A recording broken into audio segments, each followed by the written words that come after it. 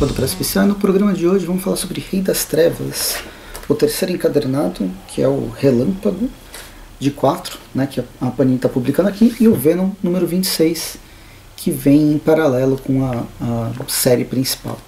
Bem, já vem falando, é o terceiro vídeo, então vocês já sabem. O Rei das Trevas ele está sendo publicado principalmente nessas duas edições. Em Rei, Rei das Trevas a gente tem a série principal, King in Black, que é a, bem, é a minissérie principal.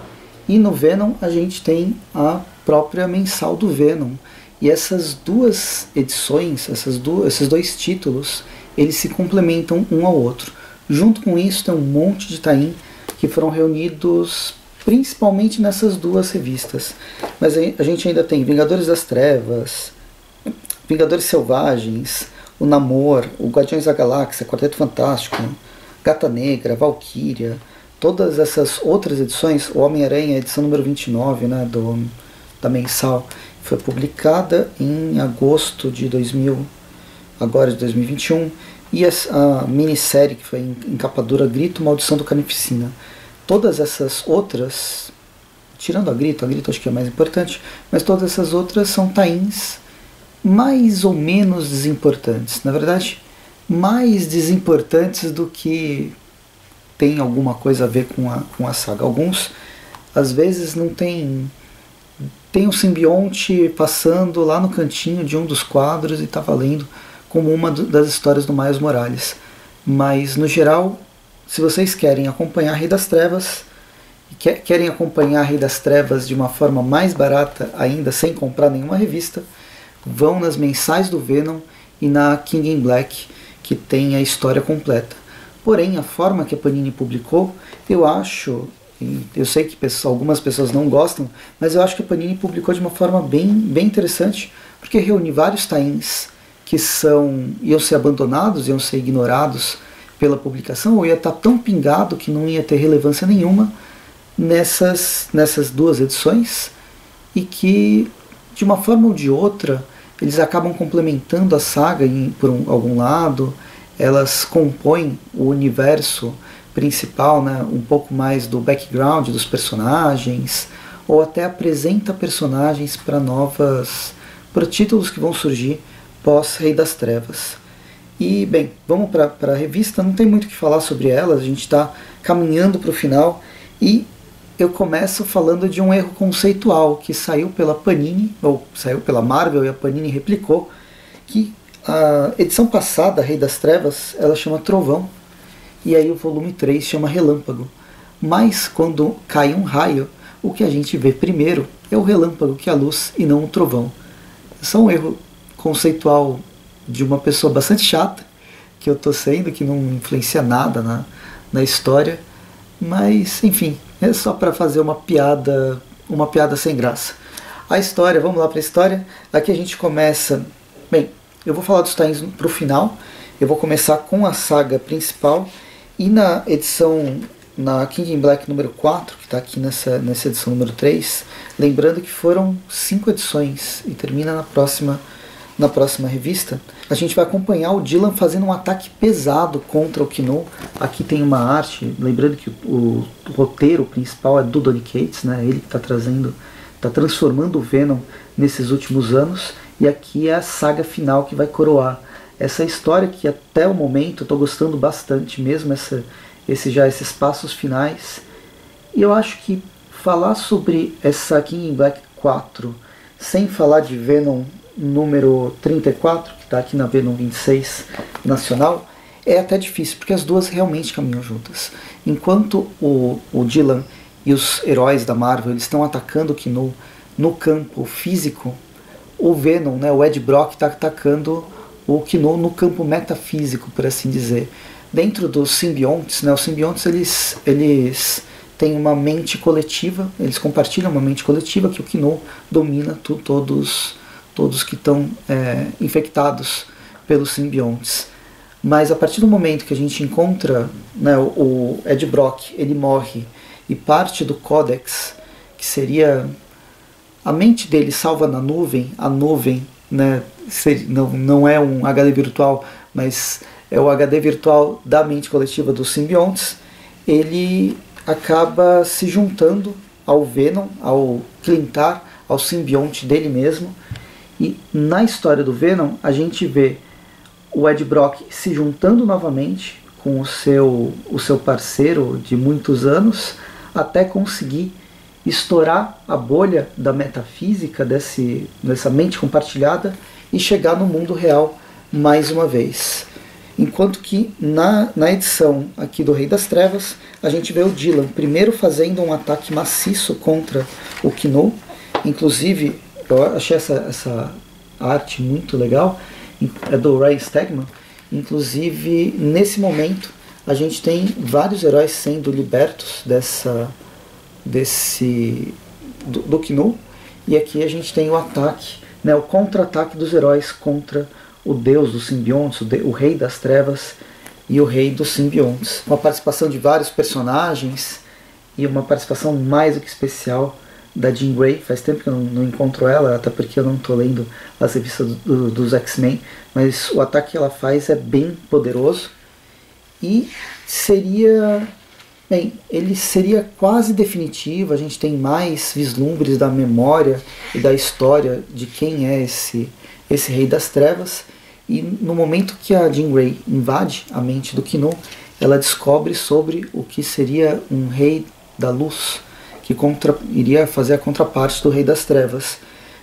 Um Deus, uma entidade cósmica que já foi apresentada antes, mas aqui ela fica clara para todos os heróis. E ao ficar clara, ela é chamada e a gente descobre que essa entidade nada mais é que o Capitão Universo. Esse Capitão Universo ele entra dentro do corpo do Ed Brock e fazendo essa junção desse final de história que é o, o Capitão Universo entrando no corpo do Ed Brock, no corpo já sem vida do Ed Brock, com o Ed lutando contra o Kino nesse campo das ideias e pegando o seu simbionte para si mais uma vez, né, a parceria voltando, o Ed, o Ed se transforma mais uma vez e aí ele vem fazer, vai se prepara para o ataque massivo que vai acontecer na última edição, que a gente vai ver na próxima, na próxima revista que a Panini publica, se eu não me engano em dezembro, talvez final de novembro. E tá uma história bem legal, como eu disse desde o início, o Donny Cates ele tem um cenário de horror, né, um horror cósmico, mas com uma pegada muito mais de aventura e ação que ele está desenvolvendo. E esse final, essa batalha épica, embora a Terra esteja completamente destruída, né, porque o, Clint, o Clintar, porque o, o Kinu ele chegou e começou a chover simbionte para todo quanto é lado e dominou várias pessoas, que seria um cenário de horror pós-apocalíptico completo para o próprio apocalipse. Nesse caso, a, o próprio tom que ele, que ele coloca é um tom mais de aventura, mais voltado para o que a gente tem de super-heróis.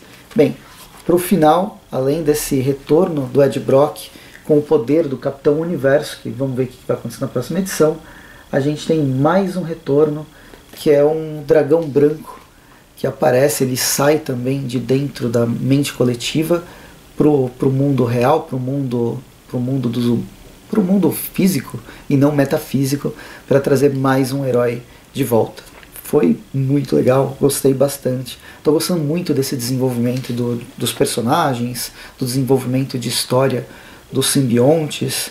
Eu só não sei o que, que vai ser depois, porque os simbiontes cresceram tanto nesse universo Marvel que vai ser difícil tratar eles, trabalhar eles de uma forma, transformar o Venom num vilão novamente, não cabe, não, não, não tem mais como, como isso acontecer. Se fizerem, vai ser bem, bem tosco mesmo.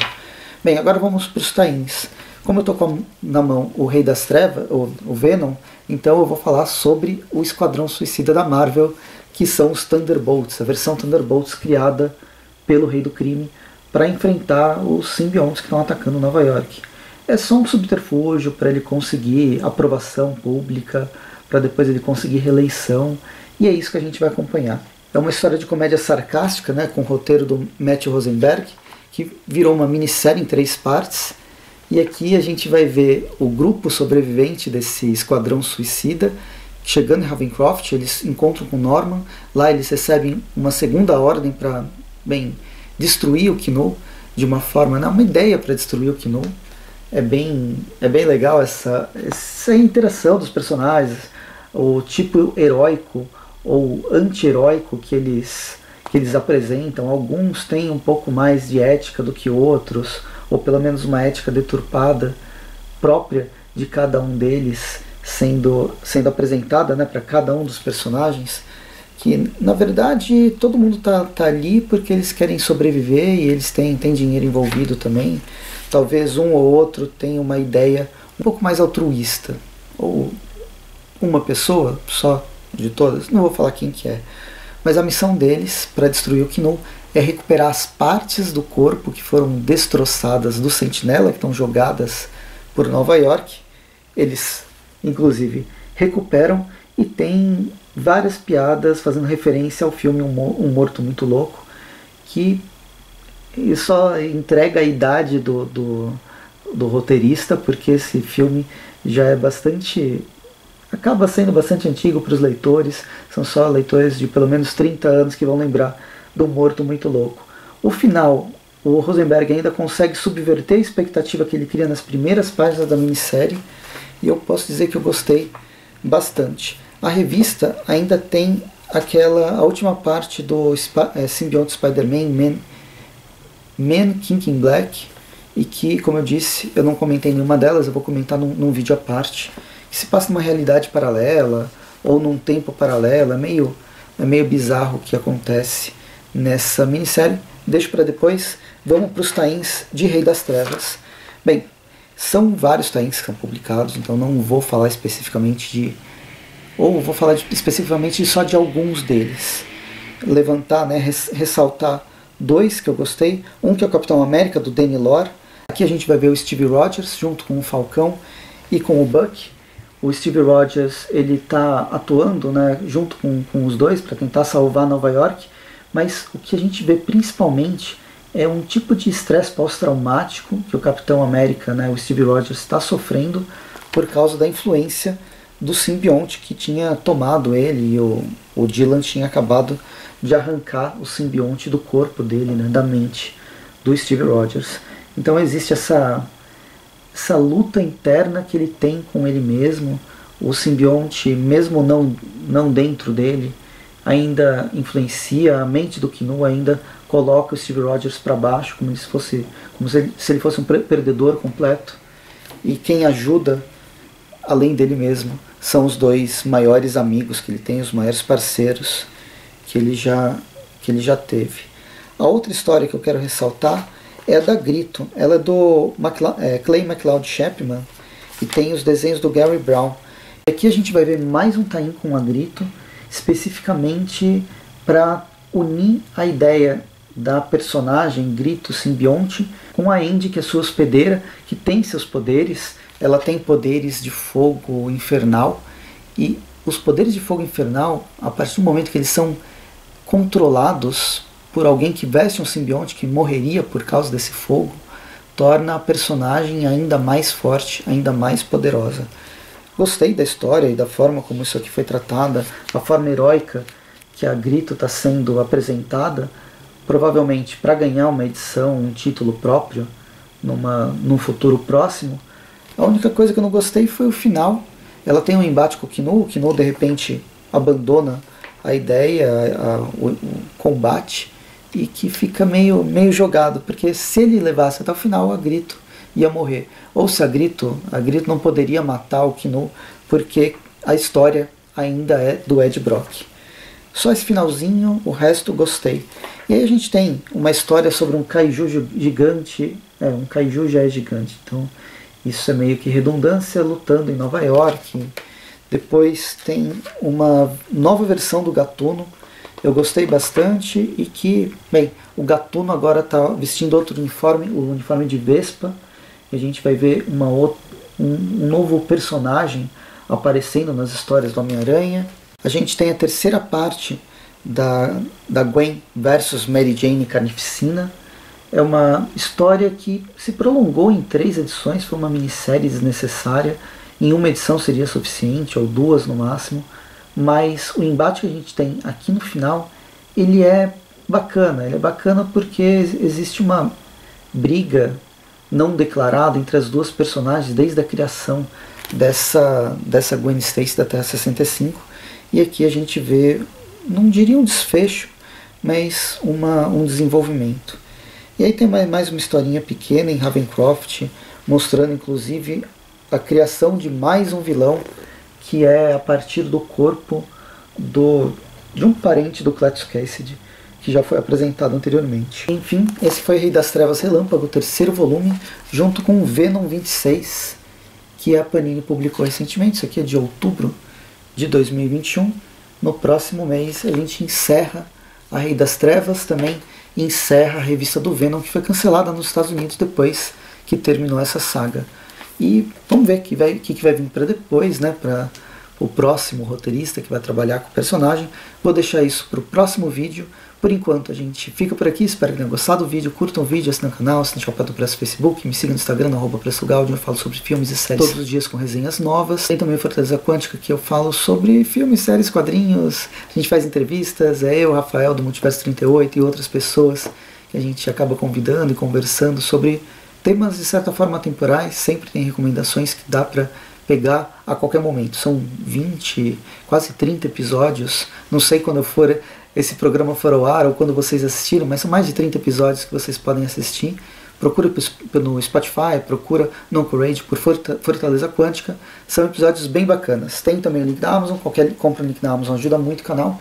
Essas revistas podem ser encontradas pela Amazon, mas também pela loja da Panini, por é, revistas por lojas especializadas, ou até em bancas de jornal. Bancas de jornal tem aquele lance de recolha, então não sei direito. Mas enfim, acho que vale a pena. Rei das Trevas é uma história bem, bem interessante, estou gostando bastante. E vocês comentem nos comentários, a gente conversa por eles. Espero que tenham gostado do vídeo. Compartilhe também, quero mais pessoas falando do, do Rei das Trevas. Como eu disse, os meus vídeos acabam, eu acabo falando sozinho, poucas pessoas dão continuidade nessas sagas, que são histórias que, bem, são histórias legais, mas que não chamam tanta atenção, talvez. É isso. Vou ficando por aqui. A gente se vê no próximo episódio. Até mais e bons quadrinhos.